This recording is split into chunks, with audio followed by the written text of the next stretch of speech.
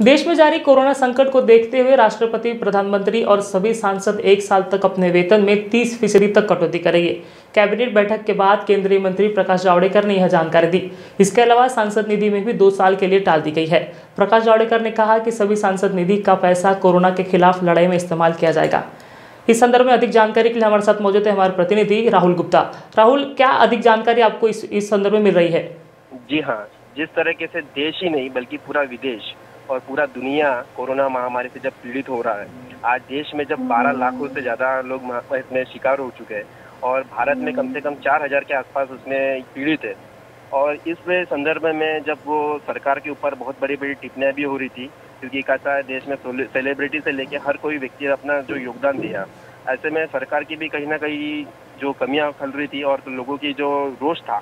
उसके संकट में आज एक मोदी कैबिनेट का बहुत अच्छा निर्णय हुआ है। जिसमें से स्पष्ट बात लिखा है कि 2020 और 21 ये दोनों साल का जो खासदार का जो निधि होगा, वो सिर्फ़ और सिर्फ़ कोविड के लिए खर्चा होगा, ऐसा उनका निर्णय लिया है। और ऊपर से एक सेकेंडली उसमें ये भी लिया है कि 30 प्रतिशत के जो उनका जो ईयर रनिंग ईयर्स है, उसमें जो भी जो उनका मानदान होने वाला है, वो मानदान का भी खर्चा जो है, तीस प्रतिशत खर्च सिर्फ़ कोविड के लिए खर्चेगा इसमें पूरी जानकारी उन्होंने दिया है। राहुल, एक सवाल ये भी कि जिस तरह से जो सेलिब्रिटी सामने आ रहे थे, कुछ फंड वो सरकार को दे रहे थे, उसके बाद एक सवाल खड़ा किया जा रहा था, जो सांसद है उनके ऊपर या फिर एमएलए जो भी है, हर राज्य के, उनके ऊपर एक सवाल खड़ा किया जा रहा है कि ये लोग क्यों कुछ अपना योगदान नहीं दे रहे। तो अभी जो कैबिनेट की बैठक हुई है, जिसके बाद तीस फ़ीसदी कटौती है, वो उनके वेतन से हुई है तो कहीं ना कहीं अभी एक उनका योगदान भी सामने आ रहा है। क्या ये जो प्रेशर है, उसके बाद योगदान सामने आया है? जी हाँ ये सोशल मीडिया में, लोगों के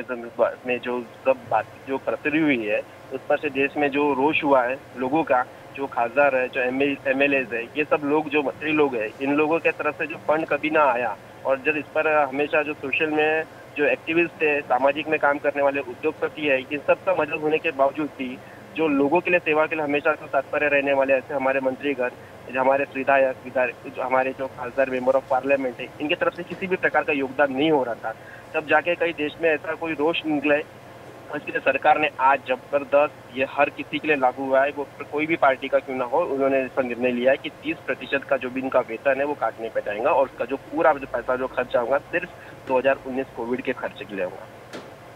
धन्यवाद राहुल, जानकारी के लिए। तो दोस्तों, अभी एक एक बड़ा निर्णय है कैबिनेट कैबिनेट का। उनमें, उसमें ये कहा गया है कि जो 30 फ़ीसदी जो है वेतन सांसदों का वो काट दिया जाएगा और जो बाकी जो उनको निधि है, जो हर साल उनको मिलती है, उसको भी टाल दिया गया है दो साल के लिए। तो एक बड़ा निर्णय कैबिनेट मिनिस्टर